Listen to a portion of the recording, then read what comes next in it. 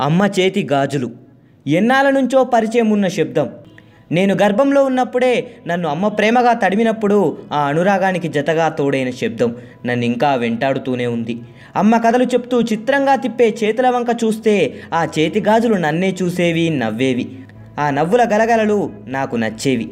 ఒక్కోసారి నేను ఒక్కడనే మంచంపై పక్కన తడిమి చూస్తే అమ్మ ఉండేది కాదు నాకు భయం వేసేది. ఇంతలో గాజుల శబ్దం అదిగో అమ్మ వస్తుందిరా బయట పనిలో ఉంది అని అన్నట్లుగా అమ్మ కంటే ముందే ఆమె గాజుల శబ్దం నన్ను చేరేది నాకు ధైర్యం ఇచ్చేది. నా ఆట వస్తువులు మొదట అమ్మ గాజులే.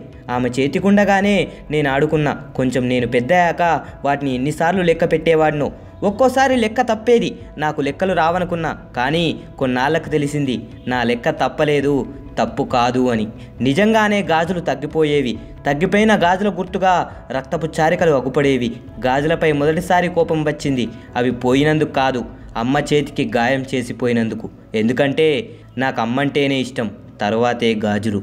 ఏమైందో కానీ కొన్నాళ్ళకు గాజులపై కోపం పోయి జాలి కలిగింది. అవి పగిలిపోవటానికి అమ్మ చేత్తో పాటు ఆమె మనసు కూడా గాయమవటానికి కారణం నాన్న కోపమని తెలిసాక. మరింత జాలి ఆ గాజులపై. जय हिंद।